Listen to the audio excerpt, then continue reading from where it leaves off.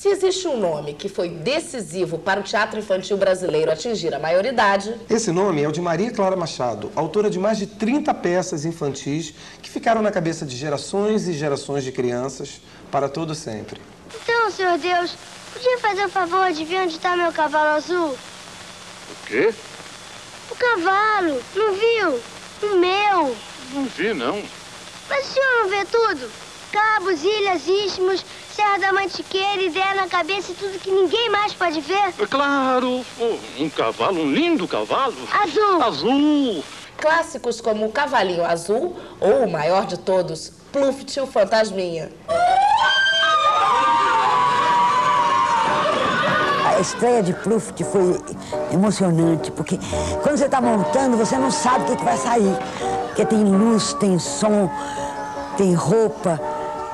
Então, quando eu vi a estreia de Pluft, eu chorei. Porque é como se fosse uma coisa nova para mim também. É um filho nascendo mesmo.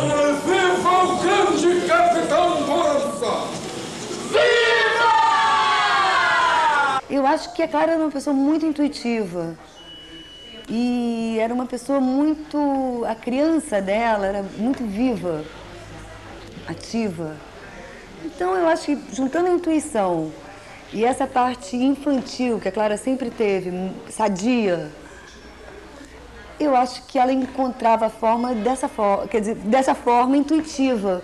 Quer dizer, sem pensar muito, sem muita pedagogia, sem muita teoria. Mas eu acho que era vocação, é a história da vocação, a história da pessoa que tem a inspiração. A inspiração não se explica, né? A inspiração vem, sei lá, você é tomado por ela, não é? Mas de onde veio esse verdadeiro dom de fada para lidar com as palavras e torná-las como que encantadas? Ou seja, que tal começarmos a entender o que levou Maria Clara Machado a conhecer melhor a sua vocação? Então vamos lá?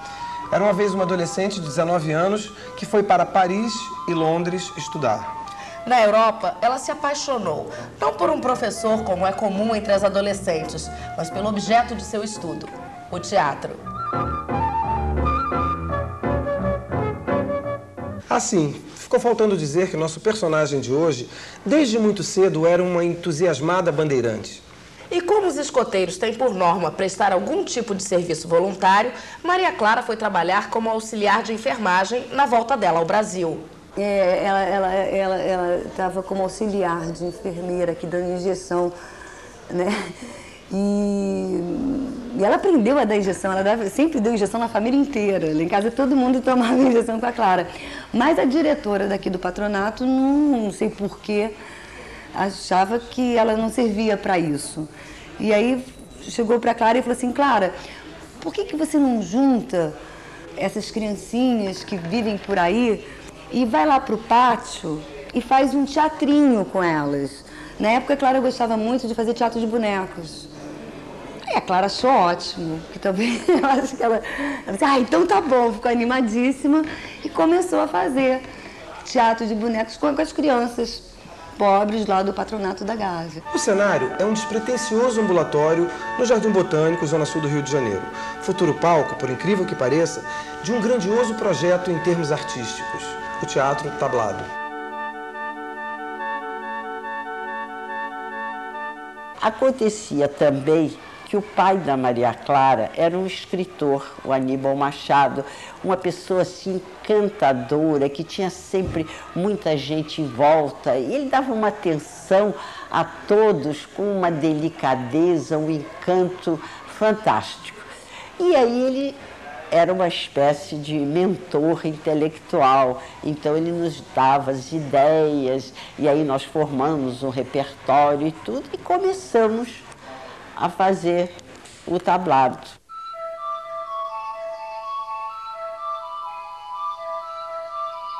Meu pai era muito entusiasmado para eu ficar aqui mesmo no patronato. Então ele adorou a ideia de fazer um grupo amador aqui.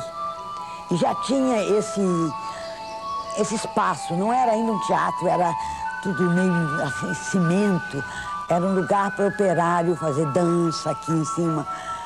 Então, meu pai e mais os amigos da, da PUC João Sérgio Marinho Nunes, Jorge Teixeira, hoje todos jornalistas e, enfim, gente importante por aí, nos reunimos com meu pai e fundamos o Tablado. A existência de um teatro-escola como o Tablado acabou trazendo uma demanda por novos textos. Para Maria Clara Machado, esse foi o estímulo que faltava para ela se dedicar de corpo e alma à dramaturgia infantil. E Maria Clara Machado levou mesmo a sério essa tarefa de criar o novo, fazendo do teatro para crianças um entretenimento sensível e inteligente, capaz de agradar até mesmo o público adulto.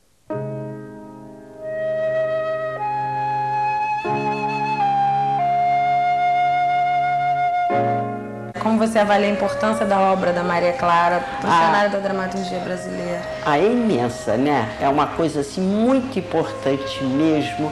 A, a maneira que ela teve de escrever, aquilo tudo já era muito vivenciado por uma infância muito feliz que ela teve, uma infância feliz.